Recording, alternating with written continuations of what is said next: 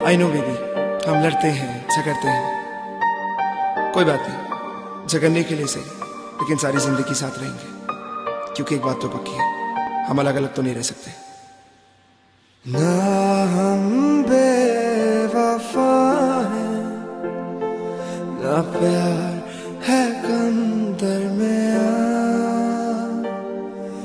पर अपनी तकदीर